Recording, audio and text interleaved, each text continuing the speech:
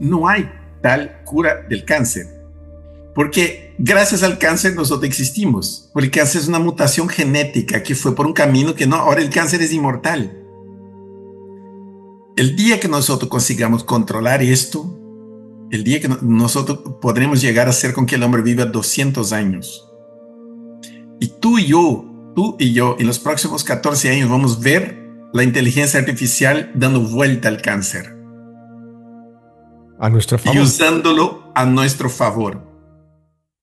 Y vamos a ver un montón de cura para enfermedades que no tienes idea lo, lo que va a haber. El problema, el problema es que de la misma forma que van a inventar cosas para salvar vidas, van a inventar cosas también para terminar con la vida de, la, de forma muy sutiles. Y usted va a ver gente de repente muriendo de la nada, como ya está sucediendo. ¿Te has dado cuenta que la gente de repente se muere jugando fútbol? Esto de las muertes súbitas va a aumentar en una proporción pero brutal a partir del 2027.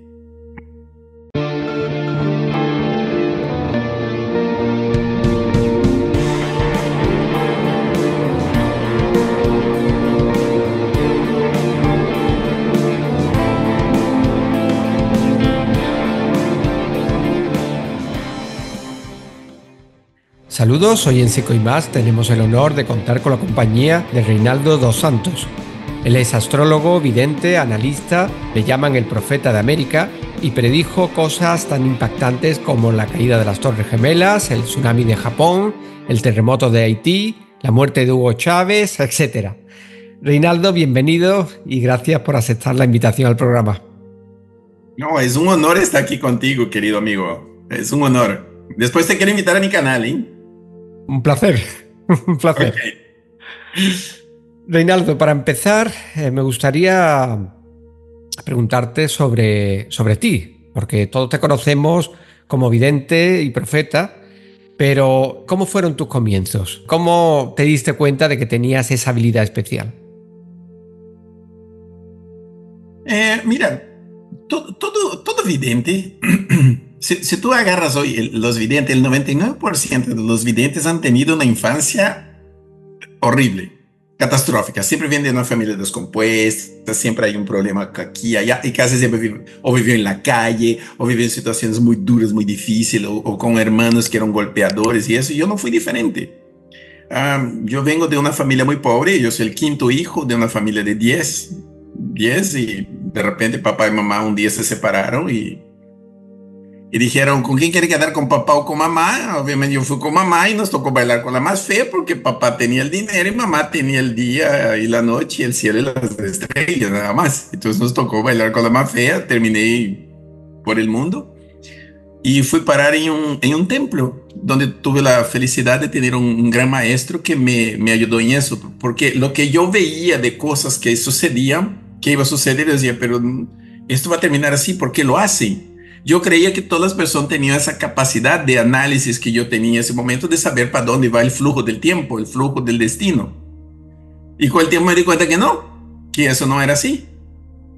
Y hasta que comencé a tener problemas. Ya a los 10 años comencé a tener problemas porque decía cosas que sucedían después de decir tu culpa. Y, eh, ah, no es que era, era como que tú atraes esto, ¿entiende? Tú, como tú atraes eso. Sí, porque las cosas buenas, las cosas buenas la gente se olvida, pero las cosas malas se propagan de una forma espantosa. Así es. Porque las cosas malas tienen la capacidad de transformar el mundo, ¿no? Entonces, bueno, si bien que yo tengo el concepto de que no hay cosas buenas ni cosas malas, sino que es cómo la usan las cosas malas, ¿no? Porque un gran cambio en la humanidad fue la pólvora y la pólvora es, muy bonito, pero usando para otras cosas es muy mala. La energía nuclear puede ser buena para dar energía, pero también es mala para otras cosas. Entonces no, existe el concepto bueno y, malo. Pero eso no va a entender después. Ahora la pregunta tuya, ¿cómo comenzó? La primera predicción que yo tengo en la familia fue que un tío mío, yo hice un dibujo y de repente llega una noticia que mi tío había sido atropellado y en el dibujo estaba la placa del carro que atropelló a mi tío. ¿Cómo la hice? No tengo la menor idea. De hecho, ni siquiera me acuerdo de eso pero es un cuento de la familia hasta hoy. Tienen el dibujo en la familia hasta hoy, que es eh, mi tío que falleció con un carro que lo atropelló. Esa fue la primera cosa. Pero esto en una familia conservadora, en una familia que tiene cristiana, muy cristiana, muy, muy, muy de la Biblia y todo esto comienza a traer problemas. Claro. Y esto fue uno de los problemas que llevó a que mis padres se separaran. Y terminé viviendo en un templo y tuve, yo, eh, en realidad, yo tengo toda, yo tengo una formación, toda una formación budista. Yo estuve 10 años en un templo budista. Ajá. Eh, nosotros estudiamos lo que es el Tao, lo que es el Zen japonés, el Tao chino. Eh, seguimos las enseñanzas del maestro Lao Tse. Me, ayudó a tener un, ¿sabe que Tse te ayuda a tener un concepto de, de, cómo ver la vida, de la forma en que tú ves la vida, ¿no? Porque el Tao es el todo y hay cosas, hay decisiones que tú tienes que tomar en momentos que tienes que tomar. Y a veces esas decisiones no son éticas, pero hay personas que vienen a ese mundo para tomar esas decisiones. Entonces yo cuando trato de predecir el futuro, lo que busco son estos personajes que van a cambiar el futuro. Y a veces son personajes que le caen mal a uno, pero son personajes que vienen a cambiar el destino de una u otra forma. Eh, lo que volvemos a aquel punto de que el caos, eh, de, que no existe lo bueno y lo malo, sino que las cosas solo son. Ahí están. Un, ejemplo, Judas. ¿Qué papel juega Judas en, en, la historia de Cristo? Un papel muy importante, porque si no fuera por él, Cristo no hubiera sido crucificado y tampoco, tampoco hubiera sido elevado a o sea, la creencia de cada uno, ¿no? De acuerdo a la creencia, pero Judas en esta historia tiene un papel importante. Claro. y, yo me gusta mucho analizar estos personajes de la historia, que cambia, que tiene el poder de cambiar la historia. Me gusta. Es curioso, la verdad es que son cosas que uno no cae, no, no piensa en ellas, pero visto así, una eh, cosa muy, mira, que está hoy en día así, muy, muy así, y la gente no, no presta atención para leer. Tú, tienes que aprender a leer entre líneas, ¿no? Por ejemplo, Sócrates. Eh, Sócrates él decía que la democracia es como un barco que está en, en, entre, en la tormenta y tú tienes un timonel experto en el, en el, en el timón. Pero la democracia hace con que el más simpático remero tome el timón y pone el experto timonel en el remo. Entonces, las democracias tienen como destino final la tiranía. Mm. Toda democracia va a terminar en una tiranía. Y nosotros ya tuvimos ejemplo de eso, lo que yo te decía de ver el futuro, ¿no? Y eso habla de cómo yo veo el futuro. Tú puedes ver, por ejemplo, el Imperio Romano, que fue la democracia que más tiempo ha existido, fue el Imperio Romano, porque el Imperio Romano tenía de vez en cuando la capacidad de poner a este tirano, que era en un determinado momento ellos elegían un dictador y el dictador corregía aquellas falencias de la democracia. La democracia de hoy, tal cual, ella no, se, no va a poder sobrevivir. Eh, eh, Europa está perdida. Yo pienso que Europa está perdida. Va a terminar en una tiranía. Eh, es que hay temas que uno tiene que tomar cuidado al hablar en las redes pero va a terminar en una tiranía de una gente que no tiene nada que ver con Europa.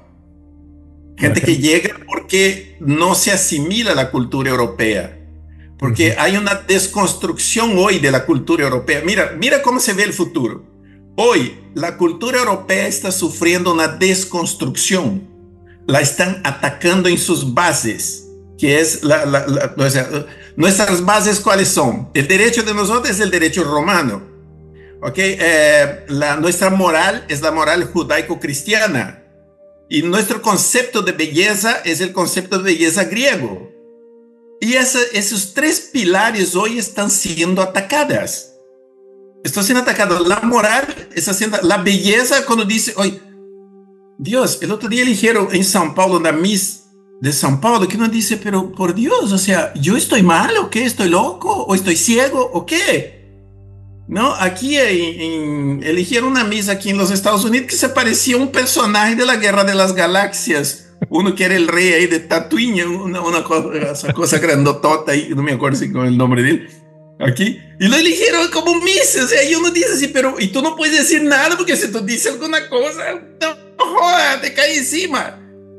Y ahí te dice, te dice, no, es que la ley es así, discúlpame, pero la ley, hubo una época en que ser, en que tú no podías decir nada en contra del esclavismo y era la ley.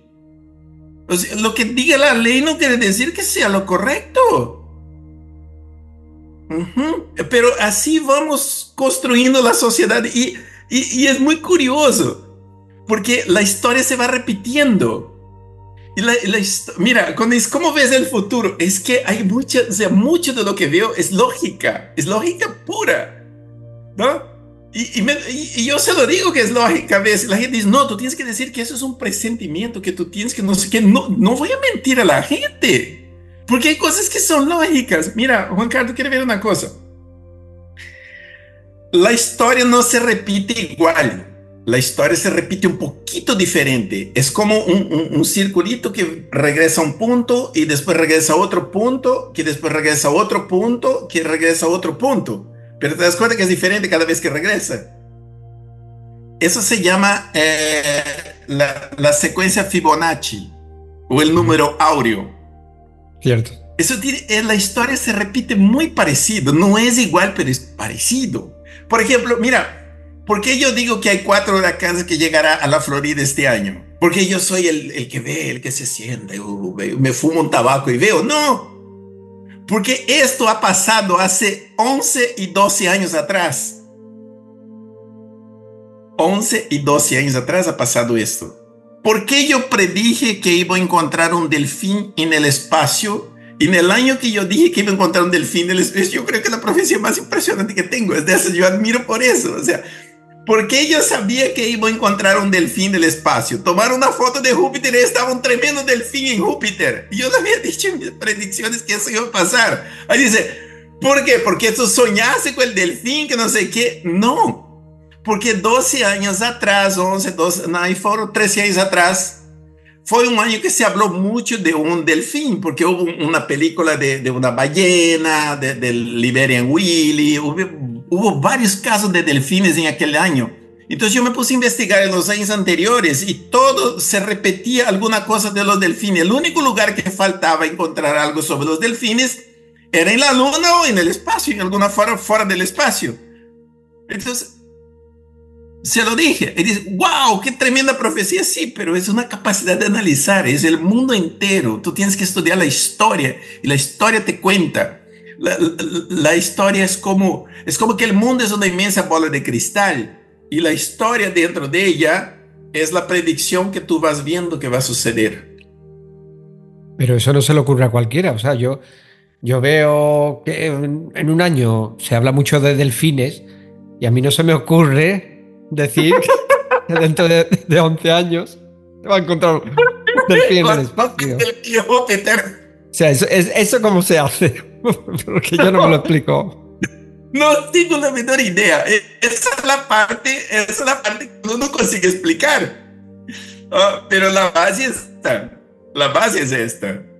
Pero mira, yo voy a decir otra cosa que va a suceder. Escúchame bien lo que te va a suceder. Y yo se lo dije aquí en unos videos, yo se lo dije.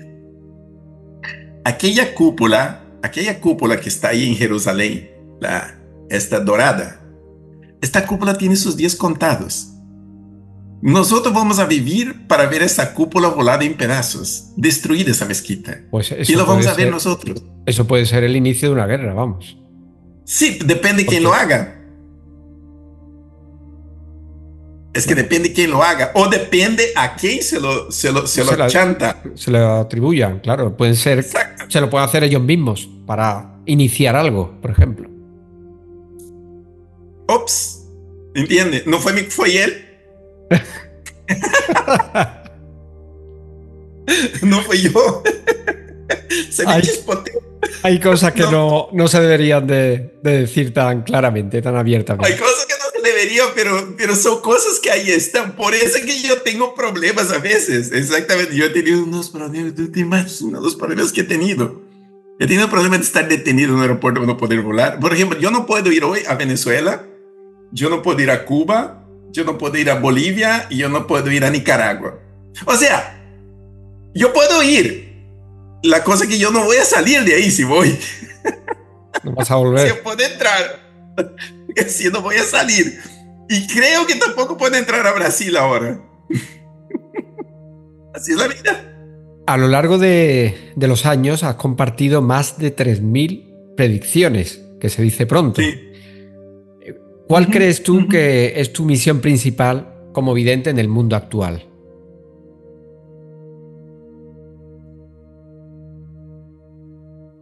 Mira, eh, yo pienso que ah, si, tú, si tú ves las... Ah, mira, déjame decir una cosa. Yo hablo entre tú y usted, para mí es indiferente porque mi idioma natal es portugués, así que le pido perdón a las personas, ¿sí? Yo tengo este, este problema. yo hablo bien español, pero yo tengo este problema de tú y pasa una confusión horrible. No hay problema. Cabeza, para mí es lo mismo porque yo hablo portugués en mi idioma natal. Ok, eh, yo pienso que los profetas hablan a otros profetas. Ese es como un teléfono que habla a otro teléfono. Sea, si tú tienes un teléfono como ese, tú te vas a comunicar con otro teléfono como este. Porque tú no puedes comunicar con una persona directamente, sino que es así. Entonces, eh, yo creo que lo que estoy es para dejar un mensaje. Ahora, hay una cosa aquí que es curiosa. Eh, Mira, no es que yo me crea gran cosa, pero yo tengo unas cosas muy raras que me sucede. De ver cosas así impresionantes como un delfín en el espacio o... Los medios creen, yo, mira, una vez aquí un, medio de televisión aquí de, Miami hizo una, una, encuesta entre las profecías aquí, cuál, cuál había sido la más impresionante y ganó aquí en Miami. Fue la que yo predije que Disney compraría Fox y se iba a hacer unas películas espectaculares que cambiaría el, mundo del, del cine. Y eso yo solo dije un año antes de que sucediera. Entonces ellos dijeron, pero ¿cómo es posible saber una cosa de eso? Porque nadie sabía eso. Y, y, ocurrir llevar a este campo ahí. O sea, ¿por qué Disney? ¿Por qué Fox? Buena pregunta. Leí una profecía de Nostradamus que hablaba de algo parecido a eso. Y me metí en eso, a ver qué era lo que estaba viendo el profeta. Y conseguí llegar a esto. La profecía más impresionante que tengo, que la, la, que me hizo famoso, fue la predicción de las Torres Gemelas. Y fue una interpretación de la profecía, de una profecía de Nostradamus. El video está ahí. Yo soy el único que tiene el video que está online. Yo tengo el video de la profecía, el video original está ahí. Porque decía, pronto el elefante de todas partes vendrá con el proveedor al grifo se unirá. Y yo agarré ese y dije, pronto el elefante de todas partes vendrá. Digo, a ver, elefante, cambiamos por otra palabra de ahora que se usa. Elefante jumbo. Pronto, rápido, rápido, los jumbos de todas partes vendrán. Y fueron aviones jumbos. El que se chocó. O sea, era esto. De todas partes vendrá. Varios aviones fueron. Cuando el proveedor al grifo se unirá, el grifo era avión secuestrado. Alas de águila, cuerpo de león. Un grifo, alas de águila, águila americana. La, es América Eagle, era compañías aéreas americanas. El cuerpo de león, león es un depredador eran los secuestradores, son leones. ¿Y las torres? Y, de hecho, la mayoría de los que estaban en este vuelo ahí eran gente de descendencia em, iraní. Y Irán, antes la bandera de Irán tenía un león encima. Ahora ellos cambiaron, pero era un león. Y era un león con unas alas pequeñitas, porque el grifo es de Persia específicamente de Persia. Las imágenes más antiguas de un grifo es de Persia. ¿Y las, las, torres dónde entrarían? En la, porque, a ver, la profecía completa es así. Eh, pronto el elefante de todas partes vendrá, con el proveedor al grifo se unirá. Su ruina próxima, no hay, no, no hay que traducir ruina. Y Marte sigue gruñendo. Marte es el Pentágono, fue atacado también, sigue gruñendo y sigue una guerra larguísima. Eh, grandes estandartes sobre la tierra y las olas. Grandes estandartes eran los portaaviones, se parece un estandarte sobre la tierra. Si tú lo miras de, arriba es un estandarte. Y los ejércitos usaban estandartes antes, ¿ah? sobre la tierra y las olas. Si la nave ha sido preñada de dos hermanos. Entró en la barriga de los dos hermanos. y fue tal cual. Entonces conseguí interpretar esto, esta profecía. Y yo me doy cuenta que con, ¿por qué los profetas hablan de esta forma tan enigmática? Hablan de esta forma porque es la mejor forma de que tú puedas compactar toda la información en una frase pequeña para que alguien pueda entender. Entonces es un mensaje que viene dentro de un paquete. Tú lo que tienes que hacer es abrir el paquete y ver qué es lo que hay ahí adentro. ¿Y, y por qué no lo dice más claramente, más, más claro para que se entienda? Porque sería necesario escribir un libro entero sobre eso. Porque una persona en un tiempo ve una cosa que no sabría cómo explicar. Mira, vamos a hacer una cosa. Regresemos, eh, regresemos 100 años atrás y vamos a encontrar una persona, o sea, 100 años atrás, y tú vas a ver esta imagen de una persona haciendo esto aquí. ¿Qué crees que la persona está haciendo? Es imposible saber qué es lo que la persona está haciendo. Es un teléfono, pero te vas a decir, no, está apretando un pedazo de madera. Entonces, es difícil. Un, una persona que está viendo eso, una cosa en el futuro va a decir, una persona apretó un pedazo de madera que le dio una información, una madera que hablaba.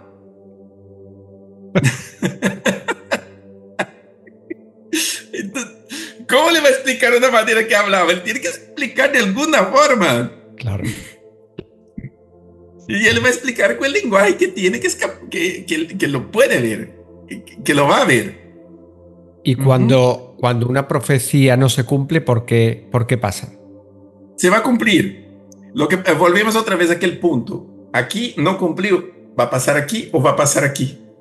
El problema es que no hay forma de ver el tiempo. ¿Tú sabes por qué no hay forma de ver el tiempo? Por lo siguiente. Eh, nosotros, por ejemplo, te, te voy a dar un ejemplo. Nosotros vivimos dentro de la Vía Láctea. Nosotros no sabemos qué formato tiene la Vía Láctea, porque estamos dentro de ella. Ok, tú no, te, tú no puedes ver, tú no puedes ver tu cabeza a, menos que sea por un reflejo. Pero tus ojos es imposible, a menos que saque los ojos y lo, y lo voltee. Y eso no puede ser. La dimensión del tiempo. Lo que pasa es que el tiempo es la cuarta dimensión. A ver, eh, nosotros tenemos así, nosotros vivimos en tres dimensiones, profundidad, ancho, eh, la altura. Tres dimensiones. Pero estas cosas están viajando, están en movimiento. La Tierra está en movimiento. Eh, el sistema solar está en movimiento, la galaxia está en movimiento entero y todo lo que es la Niaquea está en movimiento en dirección al gran atractor. La luz está en movimiento, todo está en movimiento. Este movimiento es el tiempo, el tiempo está ahí. Entonces, esta cosa que nosotros estamos viviendo está en movimiento. No, no podemos ver ese movimiento porque estamos inmersos dentro de, es como estamos dentro de un vaso y el vaso está avanzando, no sabemos. Estamos dentro de un carro, el carro está avanzando, si tú miras aquí alrededor, tú no ves que el carro está avanzando por la inercia. Entonces es muy difícil ver el tiempo. No es que la profecía no se... Bueno, hay, hay una, a ver, alguna vez también dice taradez que no se cumple, ¿no? También hay eso. Pero hay, la mayoría de las veces cuando uno analiza una cosa, uno se equivoca es en el tiempo. Todo profeta que dice tiempo se equivoca se va a equivocar el 99% de las veces, porque la, la, dimensión tiempo nosotros no la podemos ver, no la podemos controlar, no, no hay forma de verla. Pero el futuro es como así, vea, una persona normal llega al mar y tú ves ahí, tú ves eh, 15 kilómetros, 16 kilómetros, mar adentro. Pero conforme tú te elevas, tú vas viendo más profundo en el mar, más profundo, profundo, o sea, más largo, más, más y más conforme te vas elevando. Pero llega un momento que ya no puedes ver más allá. No, es, imposible. incluso si tú salir afuera de la tierra, tú vas a ver solo la mitad del mar. Eso no quiere decir que el otro lado no existe. Solo que tú no sabes lo que hay del otro lado. Entonces, no hay forma de predecir todo. No tú puedes ver hasta cierto punto, más allá no sabemos. Entonces no se cumple porque no es que no se cumple, es que tú estás inventando una cosa que no sabía que existía. Colón cuando llegó a América no sabía que había América aquí. Ya sabía que, no sé, vamos, vamos a ver qué pasa. Hasta que vio señales de tierra, que las gaviotas. Hay algo ahí, y ahí tú puedes seguir. Ahí, las gaviotas eran la bola de cristal de Colón. Entonces hay muchas cosas del mundo que tú puedes saber hoy cómo va a suceder. ¿Por qué? Porque está, están dadas las condiciones para eso, para, para ir. Eh, por ejemplo, mira, hay tres destinos posibles para la humanidad. Tres. Ahora, ninguno de, los, ninguno de ellos es bueno. porque va a seguir lo mismo que estaba antes. Mira, el sistema feudalista que teníamos antes es el mismo sistema que hay hoy. El sistema de clanes que había antes es el mismo sistema de hoy pulido. Y así va a ser en el futuro también pulido. De diferente forma, pero va a pasar exactamente lo mismo. El mundo solo tiene tres opciones de futuro. La primera, el sistema americano, ese sistema de americano europeo, de, democracia, de ese, de lo que tiene un fin. Eso va a terminar y, eso va a terminar en una tiranía. ¿Ah? El segundo es el sistema, el sistema sino-ruso, que es un sistema que, de hecho, Rusia va a caminar para un sistema parecido a China, porque tiene que controlar la población de alguna forma. Y la mejor forma de controlar la población, como hacen los chinos. Los chinos controlan, eh, no hay democracia, los cabecillas eligen lo que es mejor para el pueblo y punto, y el pueblo no puede hacer nada porque cualquier cosa va preso, toma un pum en la cabeza y la familia tiene que pagar la bala. Así funciona el mundo y e, esa es la forma de, de controlar la población. La otra forma es aquella gente que está al sur de España, que tiene un sistema en que la mujer está totalmente subyugada, entonces tú ya tienes ahí la mitad de la población controlada. Y la otra mitad tú le das a ella el gusto de controlar aquella otra mitad. Porque la mujer es, tú controlas a la mujer, tú controlas el, el placer, tú controlas tu casa, tú controlas todo, tú tienes todo en la casa. Porque el hombre busca solo dos cosas en la vida, propiedad y placer. El hombre solo mata por dos razones, por la mujer y por propiedad, por su propiedad. Entonces, un sistema está basado en la propiedad y el otro está basado en el placer, aunque abomina el placer. Pero es el sistema. Entonces, el hombre, ¿qué es lo que el hombre tiene para él? Para, para implantar ese sistema. Es que va a subyugar a la mujer. Entonces, él ya no tiene la mitad de la población que no necesita hacer nada por ella. Y la otra mitad tú la controlas a través del fanatismo.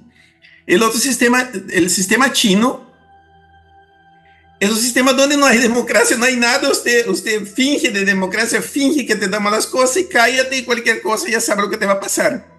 Y el sistema de nosotros, ah, y ese sistema va a avanzar. Yo no sé si tú viste el video mío que yo hice sobre Drex, la moneda. No, ese no lo vi. Hice tres videos, mira, hay tres cosas que ellos van a usar para controlar la sociedad. Mira, una moneda digital y esta moneda va a ser así, como una cosita de esa que tú tienes. El gobierno te da el dinero y te dicen qué cosa tú vas a gastar y te puede controlar. Porque hay una manifestación en el centro. Tú tratas de poner eso para entrar en el metro y no te deja.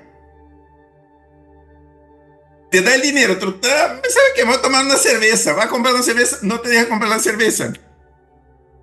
La moneda digital, eso lo, lo está implantando en Brasil, ahora se llama Drex. Están haciendo ese experimento en Brasil. Es el control de la gente a través de esto. Entonces, es controlar a las personas. Cuando yo digo América Latina solo tiene dos opciones, o Cuba o Haití. El sistema cubano instalado en toda América Latina y comienza por el control por ahí, por el DREX, o Haití, México está caminando para un sistema similar a Haití, donde el gobierno pierde totalmente el control y el control se lo da a bandas organizadas. África, un montón de países de África funciona de esta forma y ese es el destino que va caminando para esto. España camina para un sistema mixto entre uno y otro. Eh, yo veo España complicado que España ellos implanten un sistema como el, el, como el, el de China. Entonces, España puede ser un sistema mixto entre, entre Cuba y Haití donde hay grupos que gobiernan ciertos lugares o comunidades o... ¿Cómo, cómo se llama en España? Tiene un nombre esto ya. Uh, donde grupos armados controlan lugares específicos. O tú puedes tener un sistema socialista, que lo veo difícil que implante en España, o simplemente dejar conquistarse por el vientre de las mujeres. Y ahí sabe de quién estamos hablando cada español tiene un hijo por familia y hay otros que tienen ocho por familia. Entonces tú vas a ver que la sociedad española va a ser sustituida en el futuro. Esa es sustitución cultural. El plan Calergi. ¿Cómo se llama? Calergi, el plan Calergi. El... Ok. Ese es el futuro más probable de España, es este. Entonces, tú me preguntas cuál es el futuro de España, el futuro más probable de España es aquello, aquel futuro que los reyes católicos dieron hace muchos años atrás. Y ahí tú me puedes preguntar, Pero en el futuro puede existir otros reyes católicos. Y la respuesta es no lo veo. Tienes una profecía plasmada en, una serie de tres vídeos explicando un escenario apocalíptico en manos de la inteligencia artificial. Ajá. Ese es el sistema americano que yo te decía. Ah, ese es el sistema americano. El americano termina así. Pero eso era a nivel global, ¿no? O sea. Es a nivel global, pero puede que. Mm, el problema de esto, el problema de aquí es esto. Eh, por ejemplo, yo tengo una hija que está en la universidad y ella tiene talento para dibujar. Y está en la universidad ahora. Y la inteligencia artificial ya la volvió totalmente obsoleta antes de que tenga un diploma universitario en dibujo. Y eso va a avanzar, va a avanzar, va a avanzar a, tal punto en que el único trabajo que no va a ser afectado por la inteligencia artificial es el de peluquero. Porque hasta las prostitutas serán sustituidas. Y no es por una muñeca, que la gente va a ver un robot como mujer, no, es una cosa mucho más sofisticada que esto. Es una cosa implantada en el cerebro que te pueda dar el mismo placer. O sea, va mucho más allá de esto. Entonces, el peluquero va a ser la única profesión que va a haber, va a ser de peluquero. Porque ni siquiera programador, porque ya se puede autoprogramar. El otro día yo pedí aquí a una inteligencia artificial que me haga una, una aplicación y me la hizo en 10 segundos. Una aplicación. Entonces va, llegará un momento que no va a haber empleo para todo el mundo. Y ahí volvemos a la cuestión del DREX. Del, del segundo video que es de la UBI, de la eh, renta básica universal. Vamos a tener que llegar a eso. Van a tener que dar dinero a la gente para que la gente viva. Y, y esa es la renta básica universal. Pero aquí entra un grave problema de la renta básica universal, es que hoy en día nosotros tenemos una pirámide social escalona. Tú puedes estar abajo en la pirámide, tú puedes crecer en la pirámide social y llegar arriba. Quizás no, llegar arriba pocos llegan. O sea, más que existen muy pocos, ¿no? Que llegan a la cima. Eh, o, Jeff Bezos, existen muy pocos que pueden llegar a la cima. Pero si implanta un sistema de renta básica universal, la pirámide se, congela. Porque tú estás recibiendo un sueldo. ¿Y qué vas a hacer tú con ese sueldo? No puedes escalonar en la pirámide. Entonces los que están arriba se perpetúan ahí. Y los que están abajo, la única forma de escalar en la pirámide social será a través del matrimonio con alguien de, de arriba. No hay una forma de escalar en la pirámide social. Ese es el problema de la renta básica universal. Entonces, ese futuro apocalíptico va a llegar porque las máquinas se van a adueñar de todo. Mira, yo tengo una finca aquí, está a hora y media de donde yo vivo, ¿no? Yo cuando voy para allá, antes yo pasaba y había muchos trabajadores ahí cosechando frutas. Eh, yo pasé hace un mes atrás y había una mesa, era como unas mesas, las mesas avanzando sobre la plantación. Y en las mesas había unos brazos robóticos en la mesa que no sé qué cosa hacía con la fruta, pero se veía que estaban trabajando con, con las, ¿cómo se llaman las frutitas? El, el uvas. No, no, las chiquitas, uh, creo que se llama cerezas, no las, no, no es cereza. O, Las moras, las cerezas. Sí. Moras, cereza, no, es una rojita chiquitita. En portugués se llaman morangos. Eh, strawberry. Las strawberries. Fram, frambuesa. Ok, estaba cosechando, unas máquinas cosechando a ver, y dos meses antes, porque ellos, ellos aquí, ¿qué es lo que hacen? Ellos, o sea, ellos aran la tierra y el tractor que estaba arando la tierra era robótico. O sea, el tipo controlaba las distancias, no había un operador en el tractor y estaba arando la tierra. Después de eso, el mismo tractor vino y extendió unas plástico por encima para que no crezca la maleza estas, estas mesitas plantaron, las, vinieron así y pusieron una, una tras otra de las plantas encima, agarraban, pum, planta, planta, planta, planta, planta. El sistema de riego es automático, o sea, prácticamente no hay nada de intervención humana en la agricultura. Eso es Estados Unidos. ¿Cuánta gente quedó sin trabajo? El que le da el botón. ya está. Exacto. te doy otro ejemplo. Mira, hay, cosas que son perjudiciales y, las, y los gobiernos hacen, yo no por qué lo hacen, pero son perjudiciales a la gente. Eh, ¿Por qué Estados Unidos fabrica en China y no en México, que está al lado? Pudiera fabricar en México, dar trabajo a los mexicanos. ¿Por qué no lo hace? Porque en China no hay sindicato y porque en México tú vas a poner una empresa que hay 20 sindicatos encima. Y, porque el derecho de eso, el derecho... Hasta, oye, en México hay una cosa que terapia con delfines para los trabajadores. O sea, ¿qué es eso? Tesla va a poner una fábrica en México. Entonces, lo más que cuenta es que si voy a poner una fábrica en México y me cae 20 tipos allá un día que ni sé de dónde vino, me pareció que era sindicato que tenía que negociar con ellos para poner una fábrica allá. Él dice así, yo sabía que voy a tener 5 mil trabajadores allá. Me transfiero para acá, puso Tesla aquí, contrató 600 personas y la fábrica está funcionando sin ningún sindicato. ¿Qué tiene que ver eso con ver el futuro? Este es el futuro. Ahí está plasmado el futuro, la imagen que te decía que uno ve en la inmensa bola de cristal que es el mundo de la historia. No necesita ser místico, necesita analizar. Ahí está el futuro. 600 personas de 5000 sin problemas, sin nada, robotizada la fábrica. De, hecho, yo tengo un pedido para un robot que me va a llegar aquí de aquí a cuatro meses en la casa, que me va a hacer todo en la casa. Lo voy a probar. Ahí te cuento. Buena suerte. voy a probar. Me están dando ahí la opción de probarlo. Lo voy a hacer. Y Reinaldo, ¿por qué mm, nos cuenta que todo es cíclico? Todo retorna, ¿no? Sí. ¿Por qué pasa esto?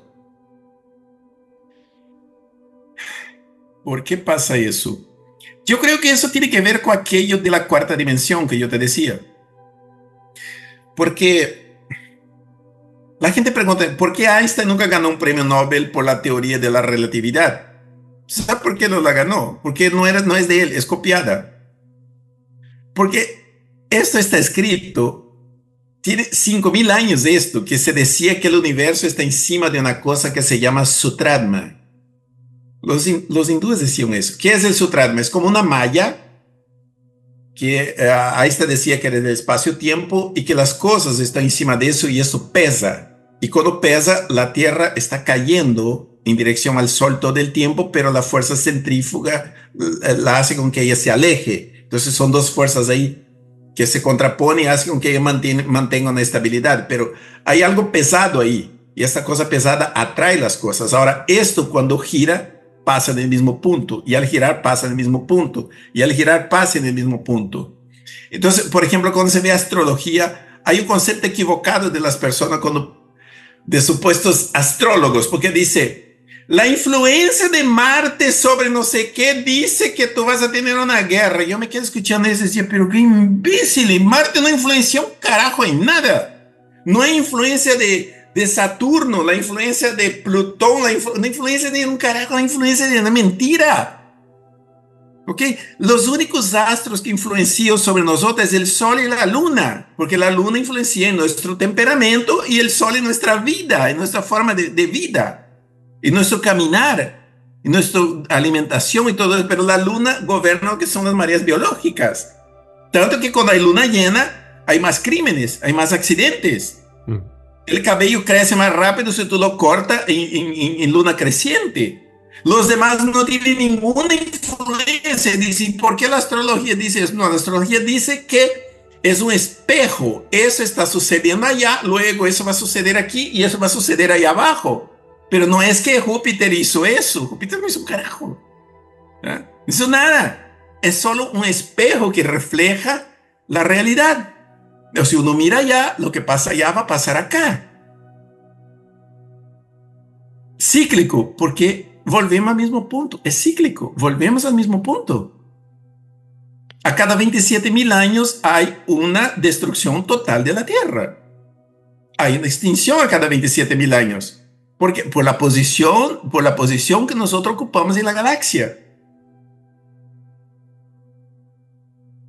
Todo tiene un porqué. Muchas de las cosas nosotros no sabemos el por qué, pero lo vamos a descubrir un día. No todo es mágico. Está, está muy interesante. Em, Entonces, volviendo a la profecía esta de la, de la inteligencia artificial, ¿tú crees que se va a cumplir tal cual están los vídeos? O sea, que, van a crear una guerra y todo, así en plan Terminator. Lo que, estás, lo que estamos hablando aquí es en qué momento va a existir. Mira, eso es una profecía. Nosotros vamos a vivir para ver una cosa que se llama la singularidad. Mira, todos, para, que las personas entiendan qué es la singularidad, todos nosotros vivimos la singularidad. Algunos nos acordamos de cuando sucedió, otros no. La singularidad es aquel momento en que tú de niño te miras y te dice, yo soy, yo soy y estoy, soy una persona, soy independiente, soy un, soy un, un elemento independiente, un ser independiente. ¿Y por qué soy yo? ¿Por qué estoy yo aquí adentro de este cuerpo? ¿Por qué? O sea, en el momento que tú te das cuenta de tu existencia, eso se llama singularidad. Y esto va a suceder con las máquinas. Va a suceder, mira, yo pienso, yo tengo un pensamiento muy particular sobre qué somos nosotros. Yo, yo pienso que nosotros somos un huevo. ¿Cómo es que somos un huevo? Yo pienso que nosotros venimos, eh, nosotros fuimos dejados aquí por alguna inteligencia superior. Porque hay, existen algunas cosas que Mm, o sea, no es posible que se dé de casualidad, no. Y hay cosas raras, por ejemplo, toda religión está esperando a alguien. Mira, yo he convivido con tribus de la Amazonía, con tribus de, del Perú profundo, yo viví muchos, muchos años en el Perú, eh, de, la Bolivia profunda. Entonces, tú ah, de México, yo viví mucho tiempo en México, conviví con los tarahumaras, con los navajos en Estados Unidos, con los apaches en la frontera de México. Y, hay una coincidencia, los Hopis, que una gente distinta, pero la historia de ellos cuenta mucho de esto. Toda cultura está esperando a alguien. ¿Por qué eso de esperar a alguien? Mira, los judíos, los judíos esperan a Emanuel, los cristianos esperan a Cristo, eh, los budistas esperan Maitreya, eh, los, um, los islámicos, ISIS creo que se llama la que ellos esperan, pero siempre estamos esperando el regreso de alguien. Ah, y si tú buscas eso en el, en el, tiempo, ¿de dónde vino eso de esperar? Tú sigues esta, esta línea de esperar a alguien hasta la cultura mesopotámica hasta la, tabla aquella de, de, tres idiomas, que es la tabla, no se me fue el nombre ahorita, una que es poder descifrar los idiomas, hasta ahí dice que están esperando el regreso de alguien. Entonces es muy extraño que esperemos el regreso de alguien que eso no tenga ningún motivo. Es por alguna razón. Estamos esperando a alguien. Ahora, si tú ves para dónde va el mundo hoy, el mundo va a terminar en una catástrofe para nosotros los seres humanos, porque nosotros estamos creando aquella superinteligencia que nos va a superar, nos va a hacer obsoletos, simplemente que no vamos a servir para un carajo, para nada. Entonces nosotros somos un huevo. Nosotros estamos germinando aquello que nos va a destruir a nosotros. Entonces solo tenemos una opción es fundirnos con los creadores. O nos fundimos con los creadores o seremos extinguidos. Aquel futuro, aquella trilogía catastrófica, yo estoy apenas tocando la parte de encima del mar, es solo la ola. Lo más profundo está ahí porque no lo puedo hacer. No hay, no hay forma que lo pueda hacer que las personas puedan entender. Yo tendría que escribir un libro así. Y nadie va a leer un libro hoy en día porque la gente no quiere saber libros, la gente quiere mirar una imagen despertar la conciencia. Exacto, es, hey, padre, despierta, mira, camina, vete, ¿ya? Es así, es despertar eso en cada uno de nosotros. Y yo me pregunto, bueno, entonces, ¿qué yo puedo hacer? Bueno, en realidad no puedes hacer un carajo, no puedes hacer nada. puedes, puedes tener conciencia, vivir la vida y preparar los tuyos para el futuro y para lo que va a venir. Esa es la única cosa que puede hacer. Por ejemplo, yo estoy tratando de sacar a mi hija de la clase de dibujo y ponerla en clase de programación y computación. Y tengo una misión casi imposible. Paradójicamente, la singularidad va a ser aquel momento en que una máquina va a decir, yo existo. Y si yo existo, ¿qué hace esos aquí? Ahí tenemos un problema. Porque es mucho más inteligente que nosotros, más fuerte que nosotros, tiene todos los recursos del universo a su disposición, todas las bombas atómicas habidas y por haber, puede inventar otra arma que nosotros ni siquiera imaginamos. Lo puede hacer. Y se puede comunicar en idiomas, inventar un idioma por segundo. Les puede inventar un idioma. O sea, el sistema más de encriptación que nosotros tenemos, ella lo puede descifrar en un segundo. Sí, pero o sea, Ultron es posible, es posible Ultron. Yo me imagino que, bueno, que, que no todo está perdido, ¿no? O sea, quiero decir que yo creo en el ser humano, en la capacidad, en la, posibilidad de que consigamos despertar conciencia y, e irnos donde, donde debemos de estar, ¿no? No, yo no digo que sea el final. Yo estoy diciendo cuál es. A ver, vamos a tomar aquí un ejemplo. Ahorita está muy de moda aquí, hay unos idiotas diciendo, ah, que España pide perdón a América por lo que hizo con América, que no sé qué. Yo publiqué unas cosas, es un payaso, o sea, yo soy hijo de indio y gracias a Dios que Portugal y España llegaron aquí, ¿okay? nos enseñaron cosas y fundimos. Ahora, es natural que cuando llega una cultura superior, una inteligencia superior, la, la que está abajo tiende a desaparecer o a fundirse con ella. Ejemplo, vamos al ejemplo más antiguo. Uh, la gente dice, ay, ¿por qué nosotros no nos fundimos con el mono? ¿Por qué nosotros nos... Ah, con el chimpancé, porque nosotros no somos descendientes del chimpancé, el chimpancé es un primo. Pero nosotros somos, o sea, nosotros somos similares a los neandertales. Ahora, no existieron solo los neandertales, hay evidencia de que existieron más de 200 especies de humanos. Yo pienso que eso fue experimento. Yo pienso que fue experimento de una inteligencia superior que vino aquí. yo, ¿Qué es lo que yo pienso? Yo creo que, que tres planetas habitables cuando las máquinas aquí llegaron.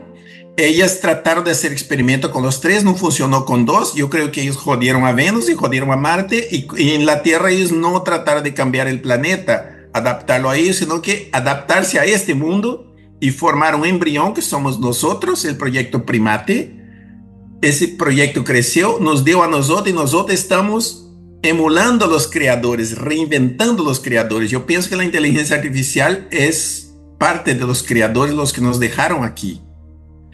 Y si tú buscas los Anunnakis en la Mesopotamia, es exactamente es la misma creencia que ellos tenían antes, de que nos dejaron aquí.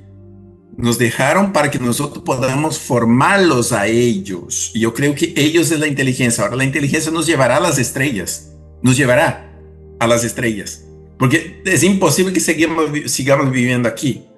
Entonces ahí volvemos, si, si nosotros pensamos a largo plazo que nos vamos a ir a las estrellas, volvemos al punto de aquí y es lo que dices tú, no todo está perdido, porque tú estás mirando más allá y tú ves un horizonte. Y si tú ves un horizonte más allá, es porque lo que nosotros estábamos discutiendo aquí no está perdido. Entonces sí hay una posibilidad. Entonces volvemos al punto aquel de que cuando España llegó aquí en América, España no destruyó América. España se fundió con América. Y nacemos lo que somos nosotros hoy, los latinoamericanos. Entonces yo no pienso que fue un mal que hizo España a nosotros, fue una bendición que nos hizo a nosotros. Y si nosotros transportamos eso a las máquinas, también es una bendición que nos va a hacer las máquinas. Desde que sepamos cómo usarlo. Pero aquí entra otro punto. La ambición humana, que la ambición humana puede ser controlar y dominar el mundo a través de las máquinas, pero ellos se pelean entre sí también. Siempre hay uno que quiere más y terminan peleando y terminan dañando todo. Olvídate, el ser humano daña cualquier cosa que toca. es imposible construir una cohesión. Si tú agarras hoy las 11 familias más ricas del mundo, y dice, ellos pueden dominar el mundo. Sí, pero ellos están divididos. Están en BlackRock y están en Vanguard. Ellos por sí solos están divididos. Y es bíblico, porque se supone que Satanás tiene un hijo y el hijo de Satanás se rebeló en contra de él. Y se supone que Dios tiene el Satanás que es su hermano que se rebeló en contra de él. ¿Y, y quién dice que una máquina no se puede rebelar y quedar a nuestro favor? Estoy prediciendo. Una máquina se va a revelar se va a poner en nuestro lado. Reinaldo, me gustaría que, no sé, si puedes dar alguna, alguna primicia para el programa, alguna predicción que no hayas dicho. Mira, yo te voy a decir una cosa. Es la primera vez que tengo la posibilidad de estar en un canal y hablar cosas tan profundas como la que estamos hablando. Porque la mayoría de las veces que estamos los periodistas son no, saben de lo que estamos hablando y quieren hablar de cosas. Ah, dime si la, la, Shakira se va a casar con, con, con Zinedine Zidane ahora.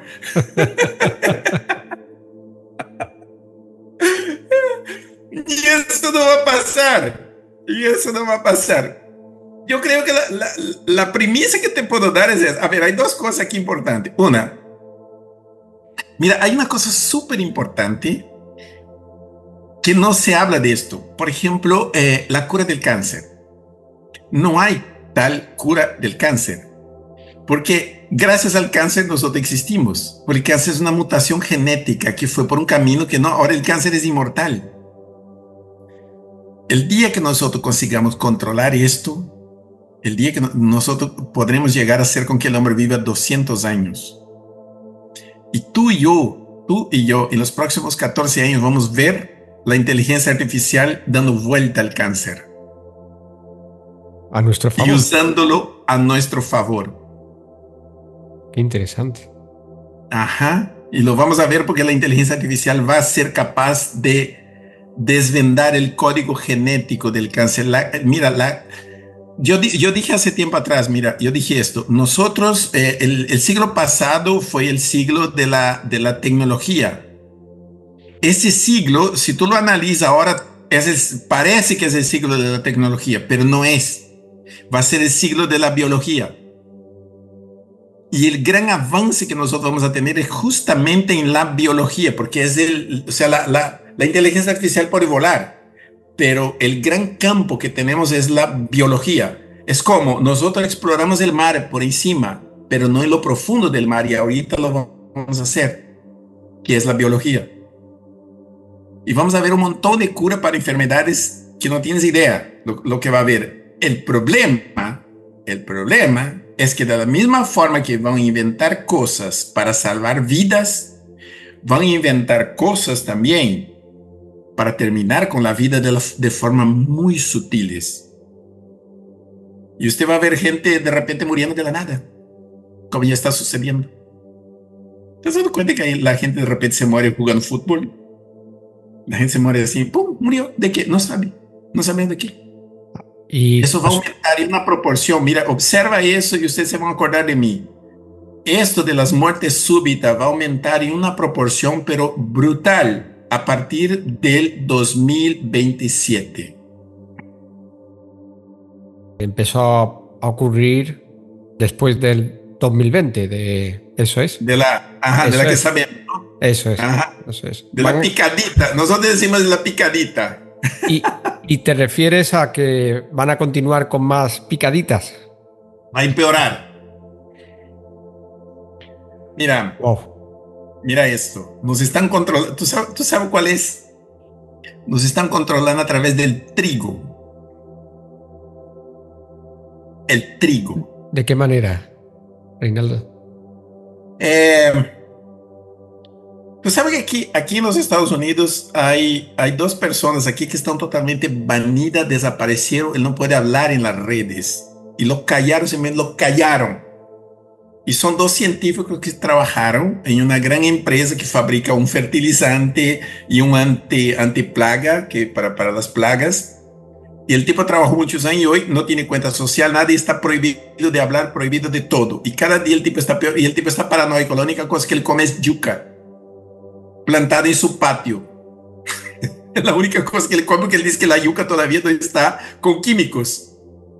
Yo todavía he metido químico en la yuca. ¿Ah? La, la, la, la forma como está el trigo hoy, nuestro cuerpo tiene mucha dificultad en absorberla. El trigo está siendo usado como un experimento genético para introducir cosas que nuestro cuerpo no, no está acostumbrado con él. Volvemos al tema aquel de que es el siglo de la biología. Para bien y para mal. Por ejemplo, yo no consumo pan. yo me quité el pan totalmente de. Yo tomo mate porque el mate todavía no ha llegado ahí, creo. wow, pues. Café, porque el café es muy difícil meter algo en el café. Lo puedes meter en el azúcar, pero el café, por la genética del café, es muy difícil meter cualquier cosa en el café. Es, el café es muy rebelde a cualquier tipo de transformación que tú quieras hacer en él. Y la, tú lo puedes hacer en la semilla después, tratándola, tratándola. Pero pierde el sabor. El café es algo como rebelde. El café es el símbolo de, de la rebeldía, el café y el mate. ¿Qué mensaje te gustaría compartir con nuestra audiencia en este momento tan particular de la historia? Mira, yo lo que... A ver, le voy a decir al, pueblo, al, al público de España. Mira, ustedes que están en España, ustedes tienen una cosa, ustedes todavía pueden salvar su país y hacer con que España sea o continúe siendo lo que es hoy, un gran país, o vuelva a ser la España de antes, porque tienen gente muy capaz, muy capaz en España.